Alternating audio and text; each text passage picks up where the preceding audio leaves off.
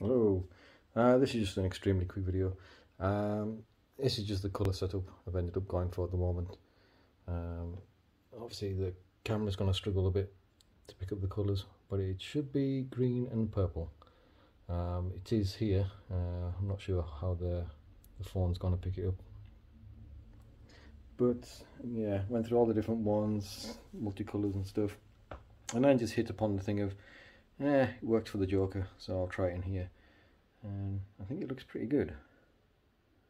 But again, it looks better in person than it does on uh, my camera phone.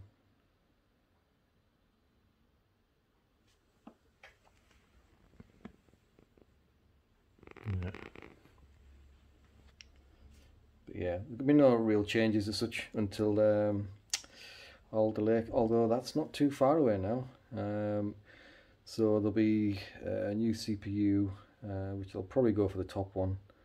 Um, albeit if I can get my hands on one the way things are. And uh, motherboards, uh, when that does the changeover as well, because the socket's going to be different.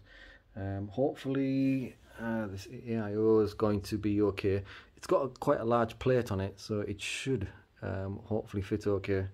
Um, if it doesn't uh, that's going to be another thing and that's a problem but I'm hoping uh, it'll be okay. And then I've got uh, it's, a, it's a lighting system which you put around the actual uh, motherboard frame.